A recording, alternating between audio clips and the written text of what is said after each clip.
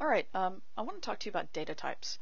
Data types are uh, essentially the most basic thing that you need to understand when it comes to any kind of programming language, whether it's PHP as a scripting language or if it's C++ or whatever. And for the most part, it's going to be the same across all the different languages. And so, in a lot of ways, if you're just learning this stuff for the first time, then uh, this is going to serve you well in the future when you go to learn something else that's considered either scripting or um, a compiled language. Uh, now, if you've already been exposed to this stuff, like maybe you've taken a C class or something like that, or Java, then this is going to be very familiar to you. So just look at this as a recap, okay? Okay, the next thing really quickly is that we are on my website. So if you wanted to follow along, you could go up to this web address and uh, just follow along. Okay, so, and if for any reason this is moved from this web address, there would be a link in Blackboard to to show you where to go. All right.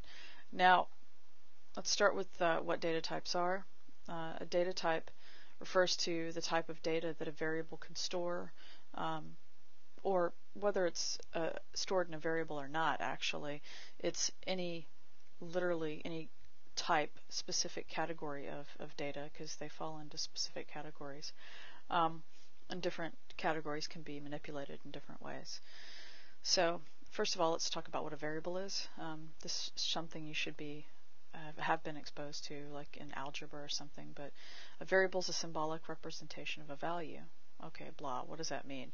Um, basically, you know, it, it's a substitution for something. It's a temporary meaning. So a, a really good example would be like in the English language, we use words that are si sort of like variables all the time.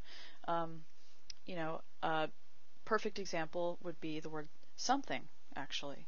So, you know, whenever we're not sure what specific thing it, you know, a thing is, then we might use the word something because it's unknown. Um, and it could represent any number of different things at any given time. It could uh, represent, you know, a, a, piece of pie. Something could represent uh, a flower. It could represent anything, right? So similar principle. Um, when you're making a variable, you always want to start with a dollar symbol character in PHP. Um, that's how you use variables. That's how you declare variables. Okay, so um, you could do something like this where you're declaring a variable called something because you put a dollar symbol in front of it, and then you have an equal sign which uh, it's a single equal sign and it's called an assignment operator. So something equals and then we give it a string value. We know it's a string value because it has uh, double quotations around it. Anything with single or double quotations around it, um, typically, now not always, but typically, uh, they're going to be string values. Okay, even if there's a number in it, if there's a number in it, numbers can still be part of strings um, because uh, you know you you can have numbers and, and alpha characters uh, mixed up together and especially like let's say it's a password or something that can be part of a string. It's not actually read as uh, uh an, an, integer or uh, a decimal. Okay so and then next part of speech is that you have your terminator. In PHP a terminator is a semicolon. Okay, that sh should be something that's kind of familiar to you, like with uh, CSS, for instance. CSS uses the semicolon as a terminator.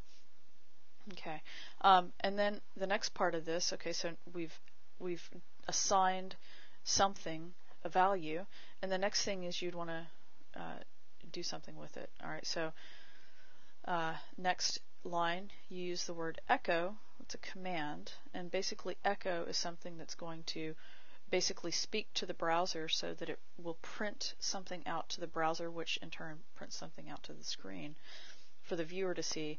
And so here I'm mixing a string with another string, okay, because I've got double quotes and I'm saying I want to eat, and then next I've got the variable of something, okay, so that would actually output I want to eat cake, okay, and you would see here it says I want to eat cake. Now, um, that's really, I think, a very useful thing to know, but specifically because I'm mixing these two things up inside of double quotes, it's going to read the value of this variable something as its actual uh, data type value, which is a string, meaning cake. Okay. Um, if you have a variable inside of double quotes, it'll work. If you have it inside of single quotes, it won't. I will talk to you more about that later when we actually start talking about quotes, whenever we're dealing with strings. But right now, just recognize this part as, as uh, understanding how variables get represented.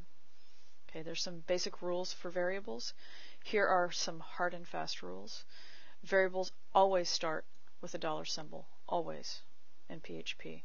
Um, we can get into some stuff later where we start talking about constants and things like that that don't have these uh, in front of them, but a constant is a variable of sorts, but it doesn't really vary. It is literally a constant. It stays constant. Its meaning, its value doesn't change in the course of a page. So variables, things that are truly variables that will um, sort of potentially have the ability to morph their meaning or their values, are going to start with a dollar symbol. The first character after the dollar symbol cannot be a number. So you couldn't say, you know, dollar sign one, two, three, or something like that. You couldn't do that. It, you could do dollar symbol uh, F1. That's fine because it starts with a consonant, but you can't put a, a number in front of it. Um, and there, there's some reasons for that, um, other programming reasons, uh, but we won't talk about that right now.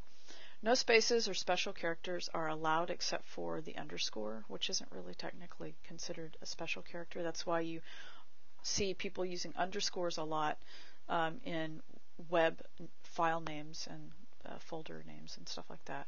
But you can do something like this. This is legal. You could say my underscore variable. Okay. Variable names are case sensitive.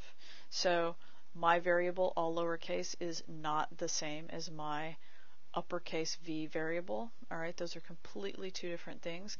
And by the way, this thing right here where it says my variable with an uppercase V, that's called camel case. Um, so that just means that, you know, literally it's got a hump in there because it's got a um, uppercase letter. But I use camel case a lot, and um, you know, just make sure that you're consistent about what you're doing because if you start doing a lot of these things and then you forget and then you type it as a camel case or vice versa, remember these two things are not the same. Camel case my variable is different than my variable with an underscore. And it it's like it's a whole new thing. It doesn't exist. Okay, so you can't use a variable called this. That's another rule. This has special programming meeting meaning in PHP. So you can't ever call something this um, if you're trying to assign a variable a value.